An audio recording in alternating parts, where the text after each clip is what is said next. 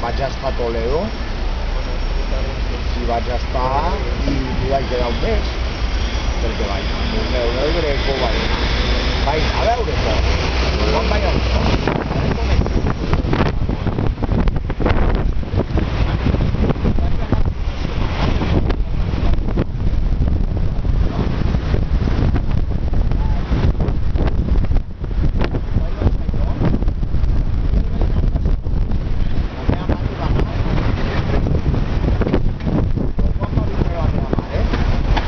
i pot anar als llocs a veure coses.